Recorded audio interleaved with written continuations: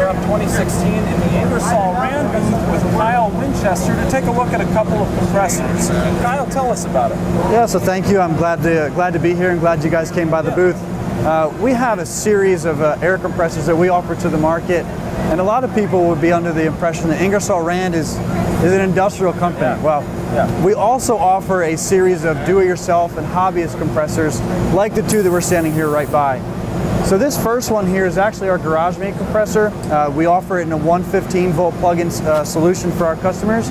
We also have single stage compressors here where we have a little bit more of a higher CFM uh, output for those compressors. But really the value proposition of Ingersoll Rand is what we offer to our, to our customers. And as a company, we've been producing air compressors for over 140 years.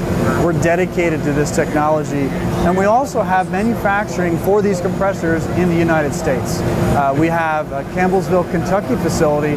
We've been in that facility since 1969, and that's where we're producing these, these units for our customers. And we've had a lot of uh, positive uh, changes within our Campbellsville, Kentucky facility because of our operational excellence pursuits. So that, that's a lot of a lot of value that we offer as far as our recip compressors.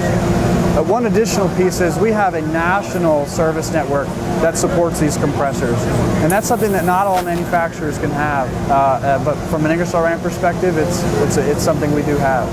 Curious for our viewers, how large, uh, you know, how much capacity is this machine, and as opposed to the one we're Sure, sure. So the one we're standing next to is a one and a half horsepower. It's called the GarageMate. It's a 20 gallon tank, and the, the output of this machine is around four and a half CFM.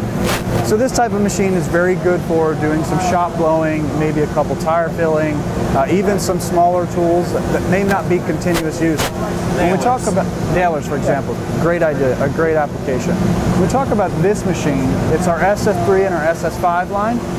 And these machines, they are single stage in nature. They go up to 15 CFM. So th this machine is something that can be applied in perhaps a spraying environment, if it's polyurethane or something like that.